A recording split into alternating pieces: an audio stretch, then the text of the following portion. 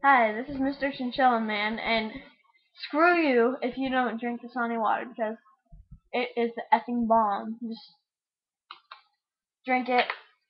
Definitely, it's good for your body.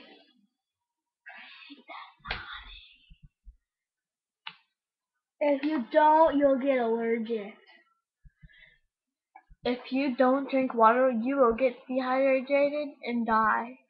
Okay. So that's Bye. why you'll get screwed if you do not drink this effing S water. Bye bye.